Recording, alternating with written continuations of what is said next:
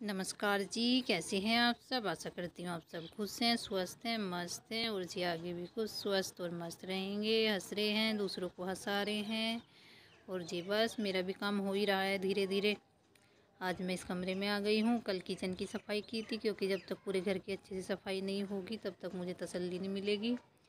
और जी बस, ऊपर स्लेब पे इतना गंद बैठा हुआ था बहुत ज़्यादा, और ये गंदा सा कपड़ा ले लिया मैंने। और कर रही हूँ मैं सफ़ाई। और जी बस धीरे धीरे हो ही जाएगी पूरे घर की। अब तो लगभग हो ही गया।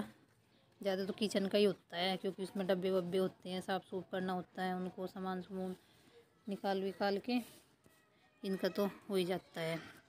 और जी बस लग रही हूँ मैं। और ये सारे फ़ोटो फ्रेम वगैरह हैं जो, वो सारी साफ़ कर दूँगी मैं। और धूल मिट्टी तो पता ही है आपको, तीन महीने में। वैसे दस पंद्रह दिन में, दस दिन में ऊपर से कर ही देती हूँ मैं स्लेब साफ़। डेली तो हो नहीं पाता क्योंकि ऊपर है वो कुर्सी वगैरह टे, टेबल पे कुर्सी वगैरह रख के तब कर पाती हूँ मैं उसको। और जी बस अब झाड़ू लगा रही हूँ और ये बेड शीट मैंने उतारी नहीं क्योंकि ऊपर से धूल मिट्टी गिरी थी वो गद्दों पे गिरती आके। अब मैं झाड़ू वाड़ू लगा के तभी उतारूँगी। और ये मैं घुस गई बेड के नीचे। ये बेड ऊँचा रखा हुआ दो दो इंटियाँ जोड़ी हुई है सीमेंट से।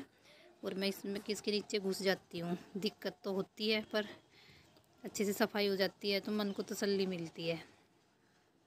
और जी बस घुस गई हूँ मैं इसके नीचे। सिर थोड़ा हो जाता है मेरा ऊपर टच, फिर भी मैं कर ही लेती हूँ। क्योंकि जब तक अच्छे से घर की सफ़ाई ना हो कमरे की, तब तक अपने आप को भी सुकून नहीं मिलता।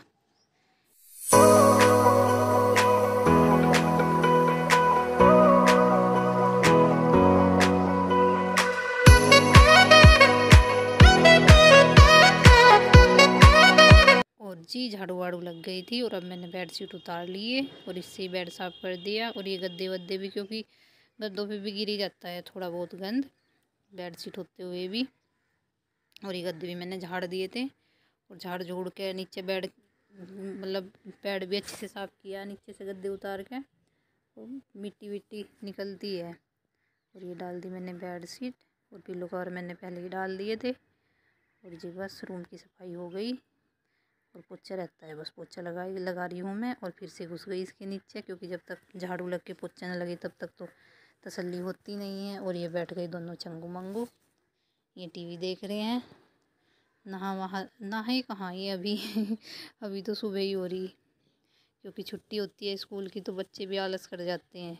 स्कूल में जब जाते हैं तब तो जल्दी जल्दी नहा नू के रेडी होके चले जाते हैं, पर छुट्टी टाइम में तो फिर भी आलस करती हैं। अब जब मैं काम धाम करके अपना, तब नहलाऊँगी इनको और जी, बस ऐसे ही काम करते करते हो गई थी शाम और ये घूमने गए थे। सुबह शाम घूमने जाते हैं। ये बाहर को थोड़ा सड़क है थोड़ी बाहर और पापा जी लेटे हुए और जी, ये बना रही हूँ मैं झाड़ू। सरसों का जो पेड़ होता है, सुखा के से छेद लेते हैं। उससे बना रही हूँ मैं। इससे झाड़ू बहुत अच्छी लगती है। और जी, ये दो साइड से बाँध रही हूँ मैं क्योंकि एक साइड से बांधते हैं तो टहनियाँ सी निकलती रहती है। और दो साइड से बाँध के अच्छे से हो जाती है ये, और बहुत अच्छी झाड़ू लगती है। ऐसी जो मार्केट से ख़रीद के लाते हैं हम, उससे भी नहीं लगती। शाम का टाइम हो गया था, और ये बच्चा पार्टी को बैठा दिया मैंने बैठाने। मम्मी कपड़ों की तय कर रही है, और ये लेटे हैं, और मैं दूध निकाल रही हूँ। और बस ऐसे ही चुक्कर लगा के तब निकाल लेते हैं हम दूध, और ये नैना बाँध लेते हैं।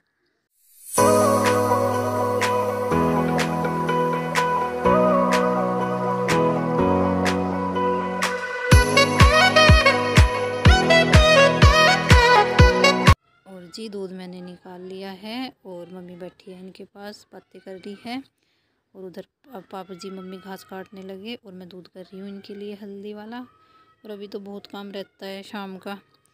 और जी बस आप कमेंट करके बताना आपको वीडियो कैसी लगी और जी खुश रहिए, स्वस्थ रहिए, मस्त रहिए और अपना ध्यान रखिए। Bye bye